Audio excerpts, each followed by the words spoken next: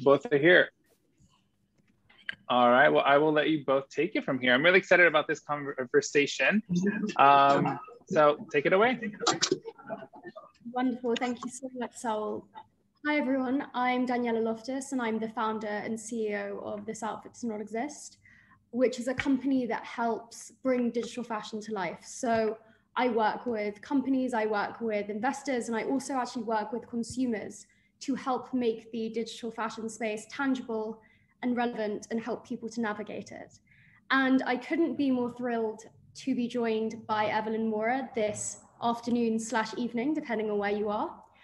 Evelyn is one of the real OGs in the digital fashion space and somebody I've looked up to for a very, very long time for her pioneering work in technology, sustainability, and digital fashion. So, welcome, Evelyn.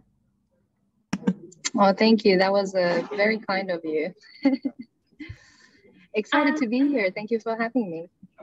So, so happy to be speaking with you. Um, and Evelyn, I'm going to let you give uh, background on yourself because I think that I can't fully do you justice.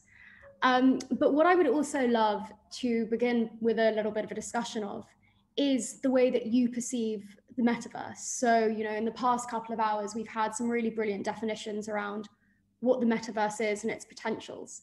But given, you know, your background and your experience, which I'd love you to go into a little bit more, what do you define a metaverse as?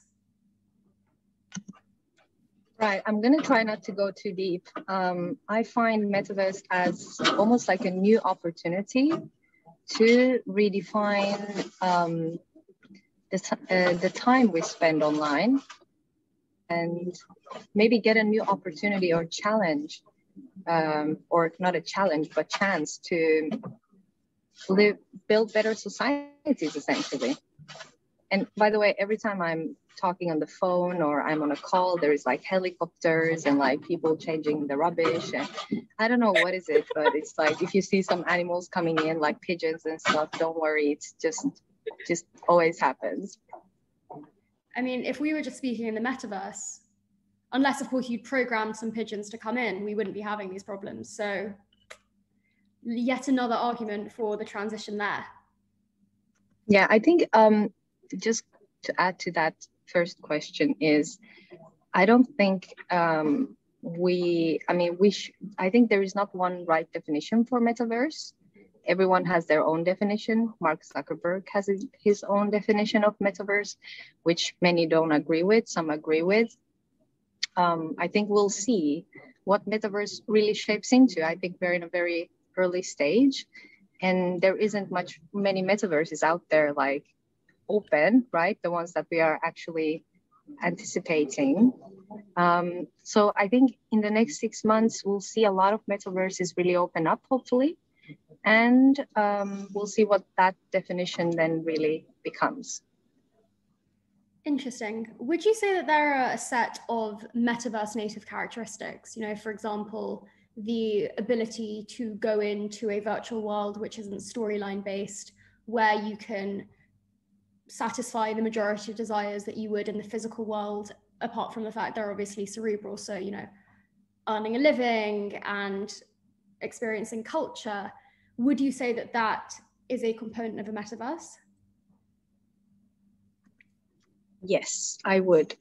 Um, I have um, a pretty sort of wild, uh, a little kinky vision of metaverse. Uh, we have a really cool community and they also have really crazy ideas, uh, which is like super funny because we align a lot in how we sort of uh, see the potential in the metaverse and what we want to experience. But um, to me, I really love the real time element of the metaverse. But I also consider Digital Village as a gaming company. Sure, you know, I come from a very deep and strong fashion background um, but it's not just fashion. But that is where we are starting. Obviously, we are we've been pioneering a lot of things when it comes to fashion. But I think fashion is a lot more than just digital garments or skins. Um, so I think uh, our game theory for Digital Village and the experiences that we are building Um, it's hard to define them, and maybe I don't want to even tell what is what those are yet. But um, it's definitely a strategical um, solutions and plans to change the behavior, how we spend time online, how we interact with cyberspace in general, and of course, very deeply rooted in the idea ideologies of or values of sustainability, how we can um, build impact, then how can we have fun and satisfy our needs and desires in the in the metaverse? Really, really interesting.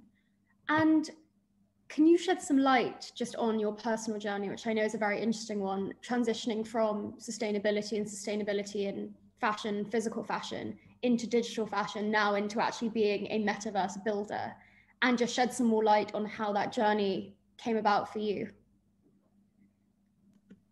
Um, to be honest, in the very early stages, uh, my focus was I stumbled into tech. Um, it was a trap because I always run myself into situations where I'm constantly looking for new tools and new ways that we haven't discovered to tackle challenges around sustainability. So everything essentially started from trying to replace a, a physical showroom with a 3D showroom. Um, and then I went down the rabbit hole of 3D and from there to, to the metaverse. Um, I guess when it comes to sustainability, um, it's really really complex topic and there is not maybe one way to approach it. So there are several different very much valid ways to tackle challenges around sustainability. But um, there are people laughing here. French people are so funny. Uh, lost my thoughts. Um, brohood, sisterhood of tech. We should start a, um, a club and everyone should be there, female and male. Anyway, so um, from replacing, tackling sustainability, it went to all the way to using digital tools to essentially improve our physical supply chains for fashion. But it's such a sensitive topic. It's like a never ending book you think about okay let's reduce waste let's uh, digitize our sampling process and then that has an effect and then you know you take a step and that has an effect. So supply chain is like echoing going back and forth. It's not just like one thing. It's a lot of different things that essentially you know need to be thought through. I don't even remember what was your question anymore because of this. Funny funny funny frenchman but yeah so my question was about, you know, what, you know, what brought you from sustainability in fashion? You've kind of answered it into digital fashion, into actually now what you're building, because I think that your yeah. journey and your revolution is going to be quite similar, albeit like, like a couple of years in the past yes. where we are now. But you know, it's probably an experience that a lot of brands and a lot of audience is going through. You know, first of all, why is sustainability? How can the digital space contribute to that sustainability? And then, you know, we move into stage three, which is the metaverse. And how do they engage within that, which is kind of what I want to go into in the slide. Yeah, yeah, totally, totally. So let me just put it this way: history is repeating itself. What did I do in 2013? I founded Helsinki Fashion Week. Um, I changed the concept completely then I started going, uh, sort of adding days to the to the week. Started as a two day two day event, as a weekend event. Went to a one week event. We started producing events in an island. We went global. We stri- strictly became sustainable, not only in production but the designers that we uh, showcased and presented. Uh, we put a lot of sort of uh, rules and regulations of what kind of designers we want to showcase. We chose to only showcase non-animal leather so we did a lot of these kind of things. But you know, eventually I built an eco village and became a consultant for governments around sustainable and smart city building. So it started with fashion, but it became a village, a physical village. So I guess that's what's happened. I, I just keep building things, uh, you know, scales into some spatial form. And I guess that's rooted into the idea that fashion is what we wear, but ultimately what we wear has a lot of sort of subconscious, unconscious sort of reasoning. Um, you know, how we consume, how we live, what kind of music we listen to. It has it's all very connected. So it's not just like how we look, but I feel like fashion has such complex and deep sort of uh, fashion is a consequence of who we are, and and uh, that's that's a cool cool little quote. I should put that up somewhere. Um, someone said from fashion industry that fashion is a reflection of our society, and that is true. Fashion can, you know, you can express your sexuality with fashion, your religion, your culture, your heritage, your music taste. Um, fashion is such a beautiful tool, and I feel like the new generation, if something they feel in control of, is how they represent themselves through fashion. So, yeah, that's what I would say. Really interesting. And I think it's very interesting the way that you said fashion is a consequence of who we are, because I see it slightly the other way. I see fashion actually being this very conscious construction of our identities and how we wish to express ourselves. So I don't think it's necessarily, or at least for me, it's not me being like, I am this person, therefore I wear this. It's more of a, I'd like to be perceived as this person. It allows me to play into a specific identity. And that informs the clothing choices I, ma- I make. And then, you know, especially, you know, when you're an adolescent and you're a teenager and you're trying to affiliate with a, with a movement, you know, do I like rap? Do I like rock music? How do I dress? And it's kind of part and parcel is the same identity construction. And I think it's so interesting what you said about kind of all of the various elements that go into it and the shift that we're now seeing within our various generations around having these fashion garments that represent our values. And nowhere is it seen more than the sustainability space. Um, apart from when you obviously transition into metaverse and seeing the effect that now metaverse or virtual world related culture is coming back to reflect our physical culture is one of the most fascinating things. So when I try to explain it to people, I try to put it into the context of the way that we start to emulate the film and television that we watch. And soon that's slash already becoming the games we play. So looking at my smaller cousins who are like 10 or 11 years old, the skins that they wear in Fortnite reflect how cool they are in the playground and the physical world. And I also think we're going to see the fashion items that are consumed in games and the brands that go and play in these virtual worlds. Perfect example Balenciaga Fortnite.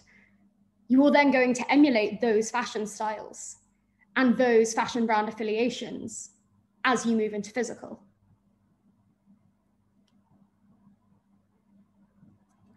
And kind of around that, how do you, first of all, how do you see brands from your point of view interacting with these virtual worlds and what do you think is really important for them to be conscious of moving into metaverse native spaces yeah i think um, meaningfulness uh, that was a word of my yesterday yesterday i decided that meaningfulness is the word of the day i haven't made my uh, mind of the word of the day today but anyway uh, maybe it's Alvanon, I don't know. Uh, I think um, it's really important to create long-term strategies and create meaning in in what brands do in the metaverse. You know, I don't like this sort of. Um, um, there was a good word today someone said, but I forgot. But it's about. I don't like that um, these drops and releases could be very short term. You know what I mean? Like, I'd love to have an entire experience. I'd like to experience something that has, you know, something that I can carry with me or be part of for a longer period of time. And I feel like, as much as opportunities the metaverse offers for the brands, there is a lot of traps as well to, to look out for. Um, it's not about to me it's not about for the brands to what, what's important is testing right? There's a lot of testing happening. You know balenciaga doing this doing that doing this doing that. You know there is dolce gabbana and there is uh, lvmh louis vuitton doing this blah blah blah you know. It's all uh, like this short-term testing. Although I think that what uh, Louis Vuitton did with uh, Beeple is a sort of a, like a longer term strategy. Uh, but that's just my speculation. I don't know anything about it, so uh, don't take my my word for it. But um, I think that again, going back to the same topic that I've always repeated, um, is each brand specifically even if you're luxury or not you have your own narrative you have your own brand purpose you know when you create a marketing campaign there is a there is a message you want to you want to deliver essentially so what i'm asking is what is the messages that these projects that have been released so far have? You know uh, i'm not getting any messages yet. I mean it's super cool to visually test and execute and do quick drops here and there. And um, but you know what's more? I think it's really important to really think about the long-term strategy um, and experience for the physical brands to enter into the metaverse and what I'm excited about is to create meaningful projects that have um, an impact for those people that actually engage in that experience or buy the NFT or digital assets or um, the brand, essentially. Um, lots of opportunities around sustainability. Again, uh, what you do is essentially what you communicate about, right? Uh, that's my theory. Like, I don't consider myself as a marketer, but I do want to create activities that have um, meaning and purpose. And then I share that message. And then either it interests people or don't, but that's um, that's what I think. So um, I would love to see more purpose and meaningfulness in these uh, activities.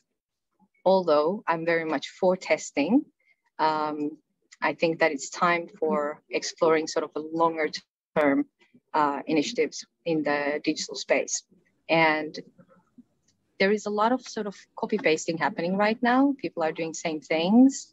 Uh, and to me, you know, there is not, you can't fit Gucci in, in Balenciaga shoes or Balenciaga in Chanel shoes or, you know, McQueen, Comme des Garçons, Rick Owens, you know. These are like incredible brands like with huge stories and heritage, you know, um, that I feel like are underexplored. Mm. But I am very hopeful that these will be, you know, explored further in the, with time. I love what you said about fitting everybody into everybody else's shoes. I think that's really what we're seeing here, and especially because it's all first mover, right? So one person moves, and then somebody else will iterate slightly on what they've had because it's the most risk adverse way to go about it. And I think one of the things that you said about message, which is really significant and kind of meaning, is we're also still going off a physical commerce model. So, probably in the eyes of a lot of brands entering in space, the meaning and the purpose is how can I engage consumers to buy more physical clothes? And that's why these kind of seem a lot like ad campaigns or just ways to get their goods out there rather than actually could we benefit from a diversified revenue stream? Could we add to the community? Could we seed deep consumer relationships through collaborations or engagements with virtual goods? So i'd say it's partially also to just do with the large getting your head around the larger new commerce model which then shifts what you're trying to achieve when you're entering into a metaverse native environment i mean you know um, just like when you're talking i was i just got this like feeling uh, that Balenciaga's, uh, what was the name? Afterworld. Um, it had um, pretty nicely um, embodied the the mentality and lifestyle uh, of Balenciaga, but to me, it wasn't inclusive enough, and the tech was too complicated, and it sort of left people out. It stayed in sort of this video mode, even if you were uh, able to explore it and enter it. Um, but I feel like um, where is the storytelling here. Mm. I don't find the storytelling here. I mean, there is a, you know, a brand working with another brand and they drop something and then there is a this hype created and people go nuts for a second and then it's sort of some sort of like um uh how do you call it like considered as an achievement to sell out in like four seconds. Like, okay, we're dropping now and we're sold out. We're sold out. This was so good. It was like sold out in five seconds. And then I'm like, you know, the same feeling that I got a year ago with the first 3D fashion week. The show was finished like in five minutes. I was like, what, what just happened? Like, did it end? You know? So that's why we're moving into this interactive real time space where people can have, first of all, utilize their assets, communicate, socialize through audio chat, and really make it interactive and, and long term. And what I'm really excited about when it comes to digital village is the infinity rooms of each user. Um, yeah, I'll, I'll leave it to that. okay. I think we're all quite excited to see what that actually means when you are prepared to share more information around that. I know that we only have a very, very short amount of time left, even though I could definitely continue this conversation for at least a couple of hours. So I wanted to end on a question that's been um, given by um, Susanna Mensha. And I think this is really in your wheelhouse, Evelyn. So the question is, what can digital fashion do to change the physical fashion production that is being made? Yes, people can wear garments digitally, but they will still want to need physical garments. How can the garments made be improved by physical platforms? And if all the learning to do is digital, will craftsmanship disappear to make physical garments? Boom. Boom. Whoever asked that question is on the right track. Um, super cool. Um, so first of all, we should stop telling that, oh my God, let's stop like, or digital fashion will replace physical fashion. Let's stop there because you don't know that. We don't know this. We should have to, we, we, we have to stop this propaganda like now get get serious about the possibilities of digital fashion. Let's see how we can improve the physical fashion world first, right? I feel like we are somehow almost the same idea as like let's move to Mars and you know who cares about the Earth? Or like it's almost like we've already given up on saving the Earth, tackling climate change, and we're already like getting prepared, packing our bags and going to Mars or the Moon. So same thing comes to this, right? We have work to do. We have to um, you know you need to have clean sheets before you can buy a car. You know what i mean? Don't buy cars. But the point is that we have to first tackle the challenges in the physical fashion supply chain as a collective anyone who's working around digital fashion should focus on helping these companies utilize digital tools to eventually um, tackle their physical supply chains, right? And then after that, um, we can move forward. I think it's a step by step aspect that we need to take. Um, and then what was the second part of the question again? Second question, uh, the second part of the question was um, if all learning you're doing is digital, is physical craftsmanship going to disappear? Mm-mm. I don't think so. Uh, what I'm excited about is, uh, as much as people are saying that you know digital fashion is the only thing that's going to stay in the future, um, you know maybe digital fashion can even become more valuable, but I don't think it's the only thing for the future. And I think that when it comes comes to craftsmanship, that's a really good question, and um, you can look at it from two perspectives. Uh, or three perspectives, or more than more than uh, three perspectives. So first of all, um, in terms of 3D design, right? How can we use digital design in creating sort of innovative future couture, if you will?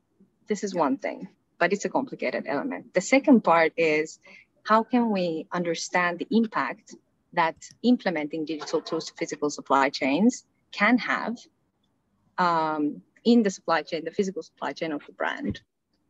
And then the third part is maybe to um, understand how i mean there is a lot of assets out there you know um, and i'm not i'm not satisfied with them. I really want to see high quality content.